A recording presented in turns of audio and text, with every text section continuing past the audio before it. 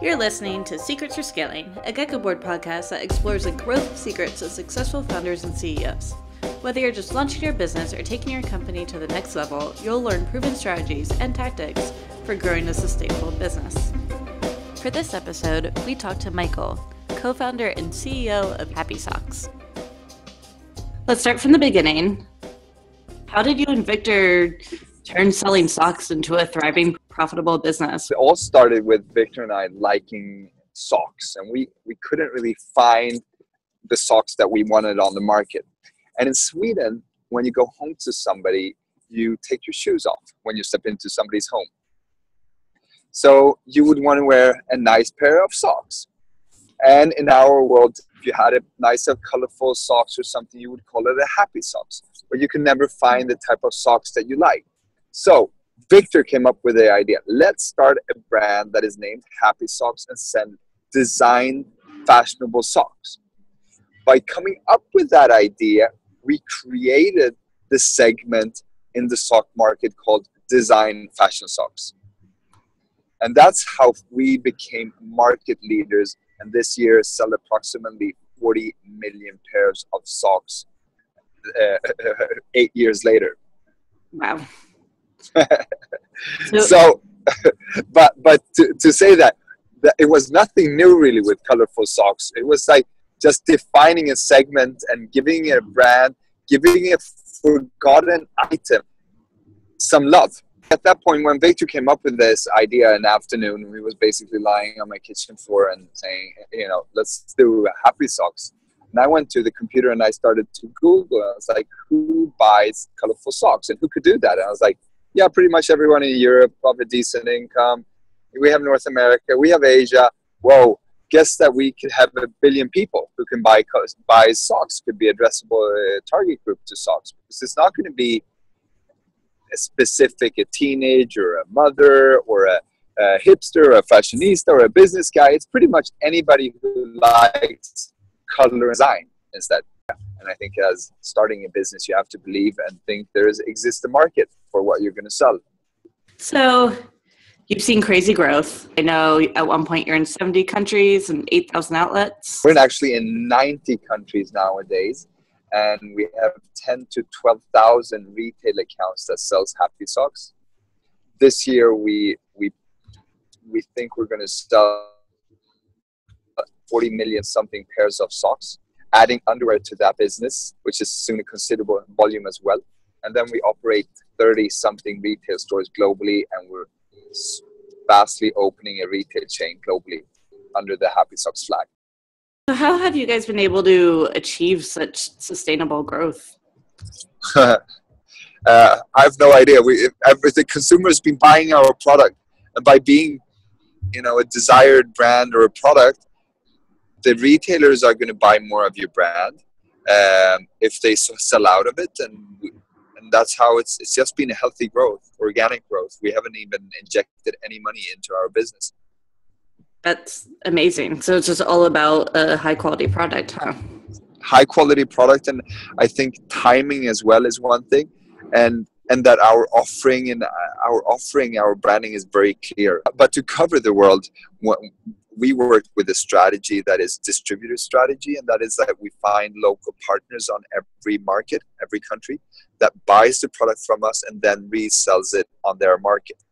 And that is how we could go global stay financial strong by finding local partners selling us. That's great. So they help market your product as well. They do a lot of the legwork and that they exactly that's what they do we don't actually on any market sell to any retailer ourselves so we have a partner on every market that handles and does the work on the local market uh, in that country. You or Viktor have any experience in e-commerce before launching? No. How did you how did you learn the ropes along the way? What resources did you use?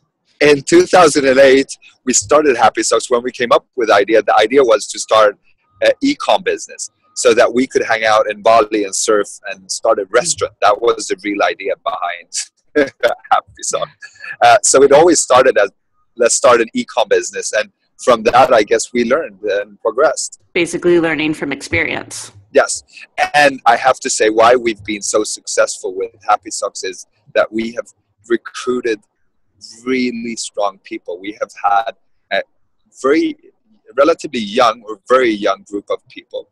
Is most of your team in Sweden? Do you have any remote employees? So our head office is in Stockholm, Sweden, and we have 75 people in the office. 40% are non-Swedish, um, where we are. The non-Swedish group is from 25 uh, different countries. So we really run uh, international office in Sweden. The strength and why we have succeeded with, let's say, ecom, uh, is basically because we've hired the best resources uh, in each area. We find young, brilliant people that work with us, and we often give these uh, anyone who starts with us a little bit more responsibility what they prior had. We let them do decisions and take decisions on their own, and we don't blame anybody to for taking a decision even if it gets wrong but we want people to advance and that has been our key motivators why people are drive can drive so fast forward and like working with us yeah. How have you found these people? What have your recruitment strategies look like?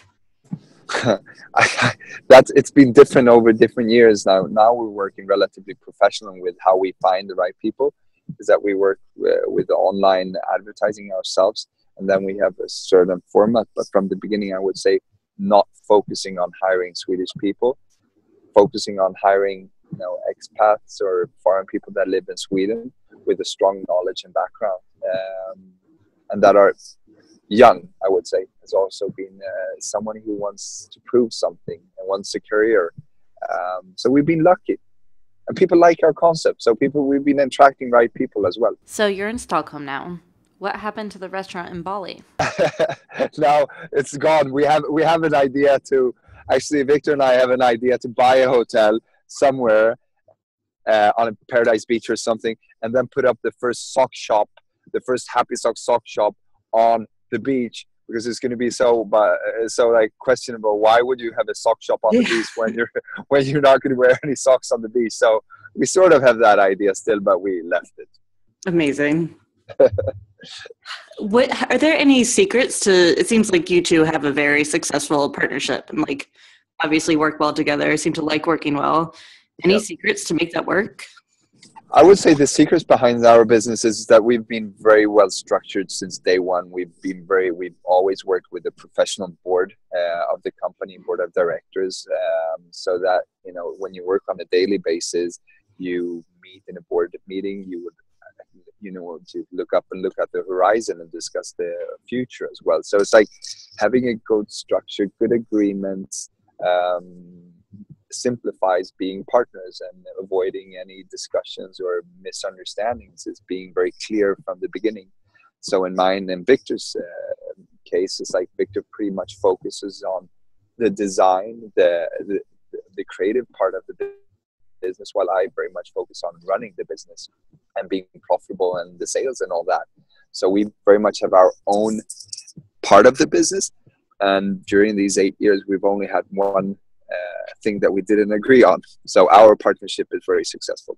And that's, I think, is a must to succeed with business. I think there's too many people who's worked in companies where the companies run out of a private perspective for us it's very important that the company is run from a business perspective um, that nobody should be involved in you know private matters or any you know it should be clear you run it as a very much corporate and if, if you have it well structured you can be very creative as well. In measuring success what what metrics are most important to the health of the business today? I would say that people are happy. that that if you're going to sell a happy pro- a product that I, what we're doing we're selling an emotion. We're selling when you put on your socks in the morning you need to give yourself a smile or the consumer a smile. They like what they put on. That is essentially what we're doing the people around us everybody who works with happy socks they need to be surprised they need to be happy with it. If we lose that feeling then we're not going to continue having the great success that we have. So first off is everybody happy that works around us with us um, on the global market? Are we doing the consumer happy? How do you measure that happiness? In the office it's very easy because we do qualitative and quantified uh, what do you say um, surveys in the company um, external you work with uh, your distributors and you know if they are happy if they're you know positive to us as a company they're going to do a good job And same goes with the retailers that sell our product. If we can give them a better point of sales display or give them a better offering or campaign or material, they're going to be happier to expose our product out in the retail. For sure. So, are those metrics much different than they were in 2008? I would say they're not very much different, but they are uh, defined and they are uh, followed up today. As uh, CEO of the business, I need to be very with this. I need to listen to the noise that goes around and make sure that I pick up whenever something is wrong. And if something's wrong, I bring it up directly. This has been a little bit strange because, as I said, we have people from 25 different countries in our office. They're not used to this way of being in a company and the openness and so on. And in every company, you're going to have at times, and especially when growing so hysterically fast, you're going to get people a little bit stressed out. They're going to be anxious and they're not really knowing what goes on because there's so many changes in an in an office that is doubling in size every year. So you know, if I suddenly hear that oh, people are complaining about something, I would, as uh, the CEO of the company, gather everybody and say, you know what, I've heard about this. Um, break up just in the middle of the day, and I say, now you have two hours, and you sit in groups of five to ten, and you write down what the hell is wrong with the company, what do we need to improve, and then they get two hours to do that, and then I collect all that, uh, and we summarize it and put it together and then we email it out to everybody and says this is what is concluded that people are not happy with in the business.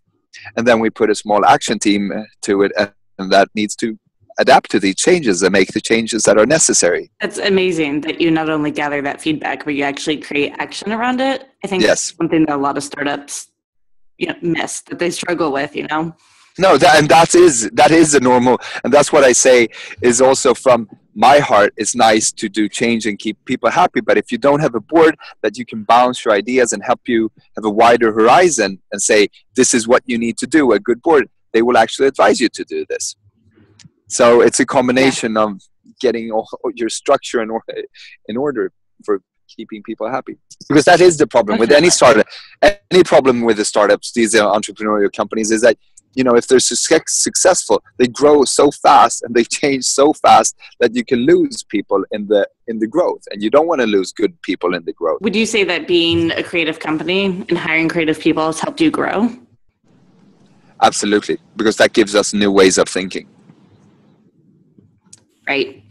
And anybody really seems to make the brand stand out yeah absolutely. And, I, and once again i fall back. You can be creative and do a super nice design on the sock and do something new. That's creative.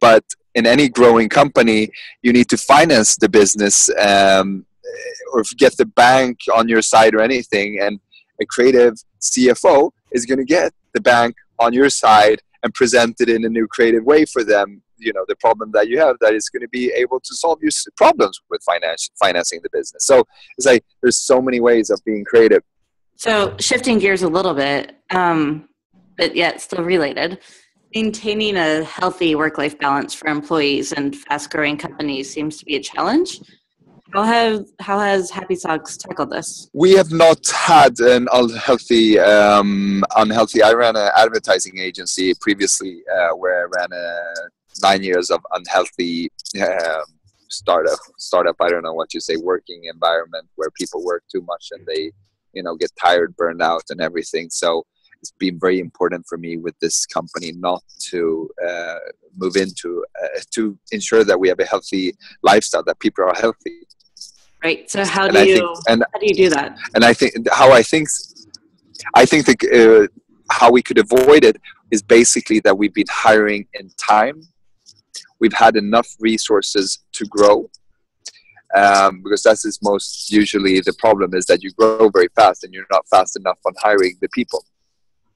So even mm-hmm. from day even from day one when you know we saw we were gro- growing and we said you know what? We don't really have the money to hire it but or it's not safe to hire yet we took the decision to hire. Because this is the reason you don't hire. You want to make sure okay it's good it's that we have the finances to hire a person three months later instead of doing it now when you actually need it and when you start burning people out by giving them more work. It's also a risk with hiring. You know, it's it's easy to say that is how we succeeded, but what if we would had a turn in trend and we would not have sold as many socks we did, then I would be sitting with too much staff instead, and the profitability would not be there, and I wouldn't have the ability to grow and so on. So it's a combination. For us, it worked this time, but it's not a key for yeah. every business. But that's how I kept this business healthy and the people healthy is that I've hired enough people. Would you say that a big part of being CEO is all about taking those kind of calculated risks? Absolutely. I, to, to be CEO, it's about taking risks and daring to do things. For us, it's very different because it's like, you know, I compare it, I compare my business to all these online businesses and everything, but you have to think about when I say that we're going to sell 40 million pairs of socks, you know, it's actually, you, you need to buy the yarn somewhere. You need to create the thread that goes into socks. You need to mix it with elastan. You need to color it sorry, or needs to go to a warehouse, it needs EAN code. The infrastructure of creating a product on a global basis is crazy if you compare it to a digital startup.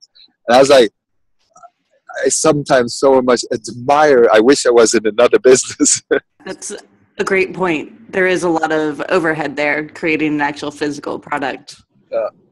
It's kind of yeah, amazing you guys do it with 75 people yeah, but then we have all these local distributors on every market that actually sells the product and so on. So you know, if you look on the total people work, with working with Happy Socks, you would probably equal 500 people or something, 400.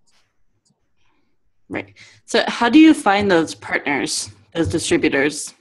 Uh, for us to find these partners, we've tried many uh, ways, and I, I am very quick to adapt. So sometimes I try to find an established company on the market that already sold socks on that market or they could sell underwear and set work with us but where we've been most successful is finding young entrepreneurs who wants to start a distribution company they want to get into this business it's probably happy socks would have been their first or second brand that they sign on to distribute on the market so working with people that have a good that we believe in has been the success for us rather than finding the proper partner that works on paper and looks good.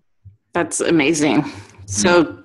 supportive of the entrepreneurial ecosystem. That's great. Yes, absolutely, and that's it. That's very much the ecosystem we have created with Happy Socks. Is finding these entrepreneurials, same as us, on the markets wanting to build. And today, these guys that started with us six, seven years ago as distributors, they hold five to ten successful brands on the market now that they distribute. So they started with Happy Socks, they grew it, they became profitable, and then they started adding more brands. How much of your business is e-commerce versus brick and mortar today?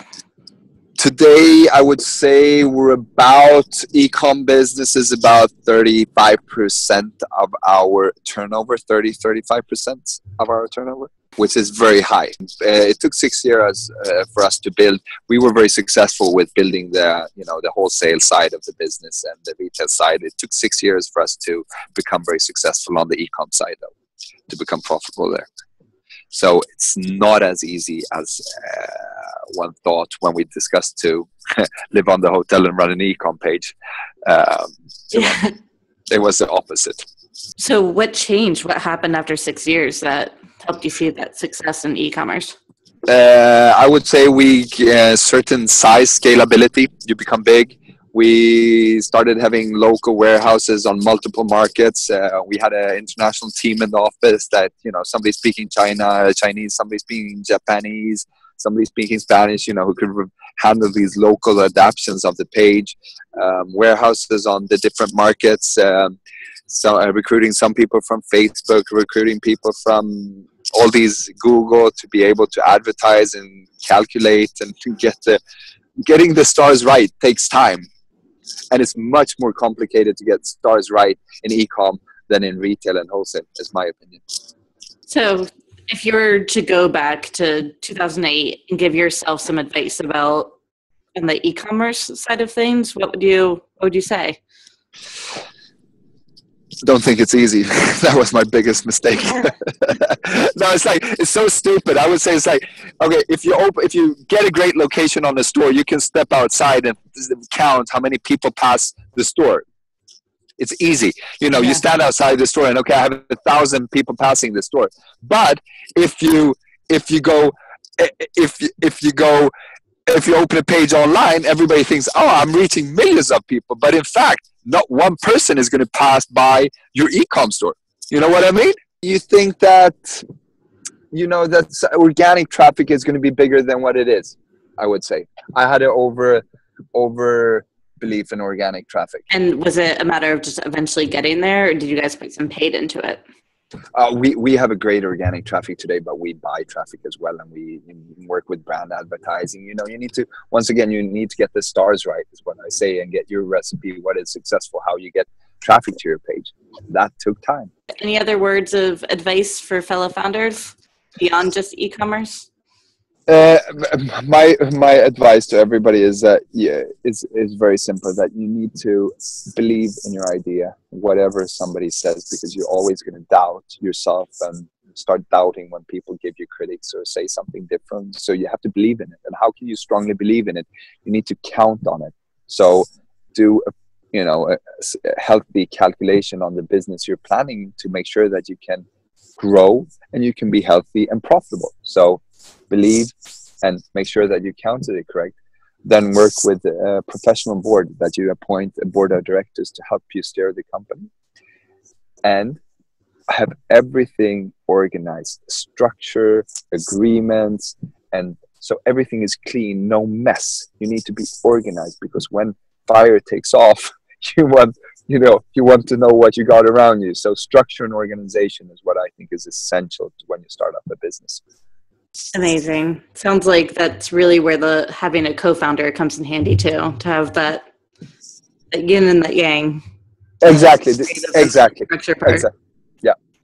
No, I agree. So those are my tips to anybody starting up and just, you know, I think also the last one is devotion. You need to devote everything to your business. Um, uh, you know, you need to be prepared to put all your time and energy into it. And I, I'd rather believe somebody, you know, I don't believe I, I believe somebody who starts a business and they resign and they say, I'm going to work with this full time, even I don't know if I'm going to get any money. I think the chances that they're going to succeed are bigger than people staying in an employment and you know working 10% with their idea or their concept because I think they will eventually lose interest or it's not going to take their hundred. They need, you need to devote your time to something.